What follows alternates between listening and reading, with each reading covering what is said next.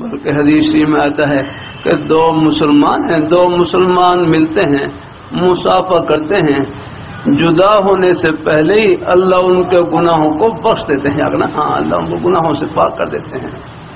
छोटे गुनाह हैं, वो तो फ़ौरन माफ़ हो जाते हैं। कोई बड़े गुनाह हो, वो अल्लाह तोबा की बरकत से माफ़ करे, तोबा करें। तोबा का दरवाज़ा हर वक्त खुला हुआ, तोबा का दरवाज़ा हर वक्त खुला हुआ अल्लाह ये टेलीविज़न पर भी हर एक गुना सुना करें अल्लाह हाँ बड़े फिटने आ रहे होते हैं अल्लाह ये अल्लाह तला के नेक मकबूल बंदे, जिनका जन्नती होना दुनिया में दिखला दिए, इनकी राह अपना दाएँ बाएँ की बातों के एहतियात किया करें हाँ